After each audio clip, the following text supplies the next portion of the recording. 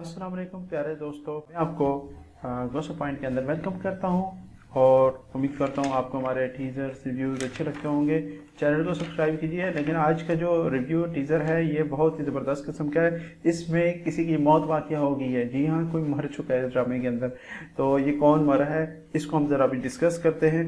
तो आ, हम बात करते हैं जो कि हमने टीज़र में देखा जो कि एपिसोड 22 का टीज़र है जिसमें मुजद्द दुरानी जो कि सुल्तान दुरानी के चचा हैं और जो है, नरवीन के वालिद साहब, वो बैठे हुए अपनी बीवी से बात कर रहे होते हैं जो है अपने घर के अंदर, ठीक है?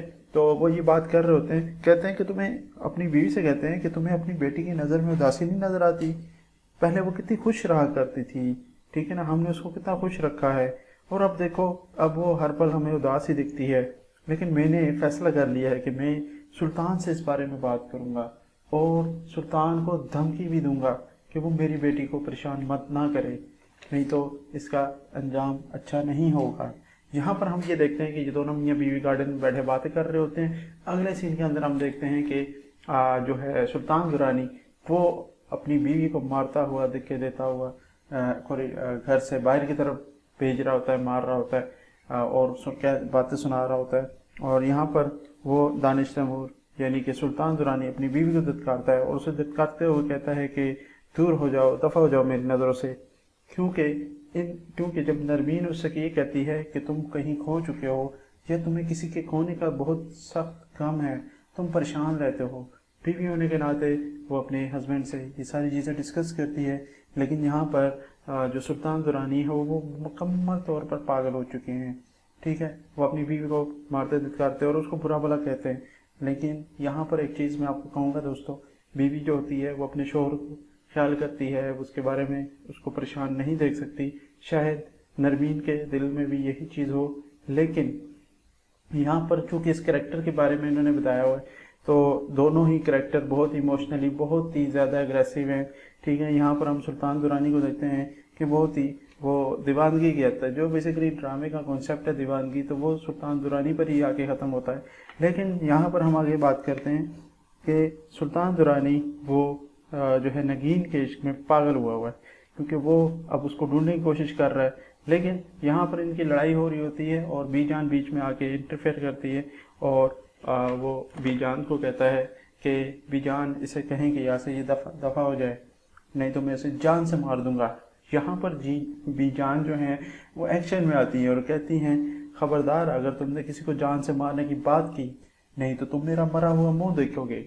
यहाँ पर मुझे ये लग रहा था कि शायद बी जान को थोड़ी देर में हार्ट अटैक हो जाएगा, लेकिन यहाँ पर बी जान एक मुकम्मल हौसलावर खातून निकली और उन्होंने अपनी लाइफ को किसी प्रॉब्लम में डाले बगैर जब हम अगले सीन की तरफ़ जाते हैं तो यहाँ पर अली अपनी बीवी, यानी नगीन को कहता है कि तुम अपनी, तुम मेरी अम्मी को हैंडल कर सकती हो।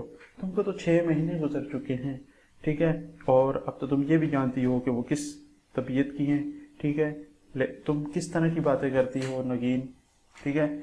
और यहाँ पर नगीन परेशान दिखाई देती है और परेशानी की हालत में नगीन अपने शोर को कहती है, अली को कहती है कि अगर आपने मेरा साथ छोड़ दिया तो दोस्तों यहाँ पे हम इन दोनों की कैफियत कुछ इस तरह से समझते हैं कि दोनों मियाँ बीवी शादी होने के बाद भी छः महीने गुजरने के बाद भी नगीन जब अपने ससुराल के अंदर मैं जो है अपने सास के साथ एडजस्टमेंट नहीं कर पाती। ठीक है? अब अगला जो सीन है, अगले सीन के अंदर यहाँ पर जो मेन बात कि हमने देखा।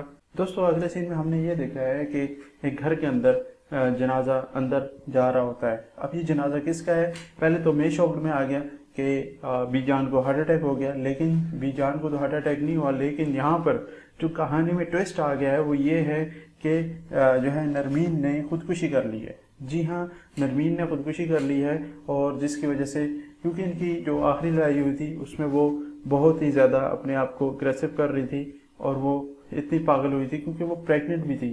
ठीक है, यहाँ पर एक चीज़ मैं आपको बता दूँ कि वो प्रेग्नेंट भी थी और वो सुल्तान दुरानी की बच्चे की माँ भी थी। तो यहाँ पर हो सकता है कि वो अपने असाब पर काबू ना पा सकी हो तो उसने खुदकुशी का रास्ता चुन लिया। यहाँ पर हम देखते हैं कि कमरे के अंदर जनाजा अंदर आ रहा होता है और नरमीन की अम्मी और जो है वालिद साहब मुजद दुरानी और उसके पीछे सुल्तान दुरानी को भी हम देखते हैं। और यहाँ पर हम बीजान को भी देखते हैं, वो कुर्सी पर बैठी हुई रो रही होती हैं, परेशान, जो है, अफसोस कर रही होती हैं। तो कुछ हमें अगले एपिसोड के अंदर कुछ इस तरह से ही हमें सीन देखने को मिलेंगे। उम्मीद करता हूँ इस टीजर का रिव्यू आपको अच्छा लगा होगा। चैनल को लाइक सब्सक्राइब कर दे। अच्छा लगे तो दोस्तों को भी शेयर कर दे। अगले वीडियो तक के लिए इजाज़त दीजिए। अल्लाह हाफिज़।